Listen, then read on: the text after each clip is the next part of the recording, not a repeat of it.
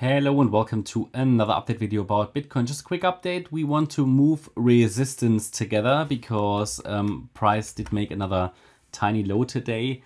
We highlighted in the previous update that we still focus on lower and it seems like that it instead of doing a fifth wave, so we talked about this before, yeah, wave three here, wave four here, that we can focus on lower in a fifth wave as long as price stays below 26,620 a break above that level would me would make me consider different options, but on the microstructure here, another low is still expected in a fifth wave. But it seems to me, um, due to the proportions, yeah, the proportions, that wave three is extending.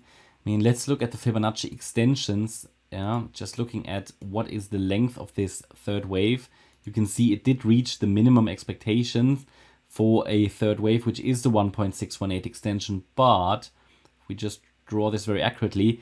It missed it very, very slightly, and these are the details I'm watching for. So it missed it very, very slightly. That would have been 25,630. Well, it came to 25,660, uh, so it missed it a little bit.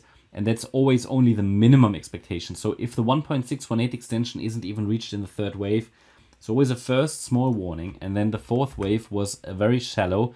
Said to you in the previous video, I would expect expect, not expect, I would prefer to see a deeper wave 4, just a more reliable wave 4, but it was also very shallow. All of that leads me to the assumption that the third wave is actually extending.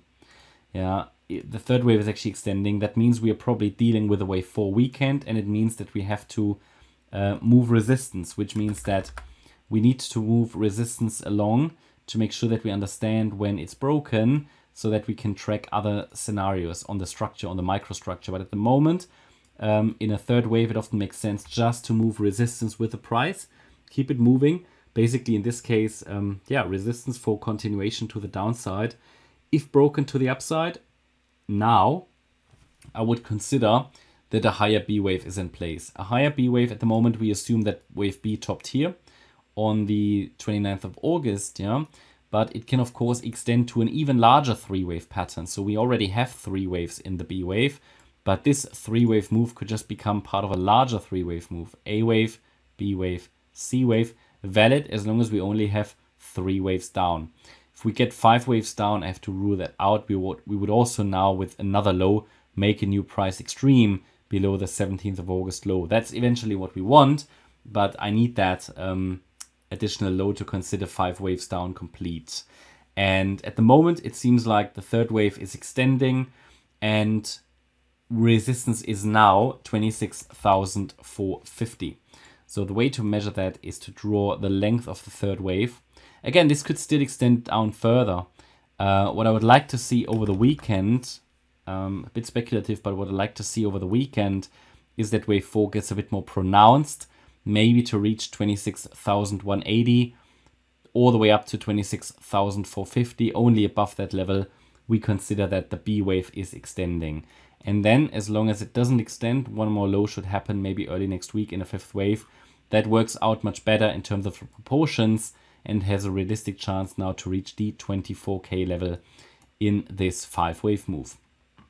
After the next low, we are going to watch if um, the recovery is three wave move or if we see five waves. If we see five, then again, same old story. Yeah, we can consider that a low has been made and we're waiting for an ABC pullback. This could be another pullback zone as the yellow zone has been already on the larger time frame and then to trade the third wave higher. Um, if it's only a corrective rally and it stops basically here, then we have a good short setup for lower, okay? But I will take you um, I will be with you on that uh, pathway. We try to establish the most likely pathways after every turn. Yeah, so I think we might see a bit of a boring weekend again. Um, when it's weekend, it's typically wave four time. It's quite funny, but it, it actually is.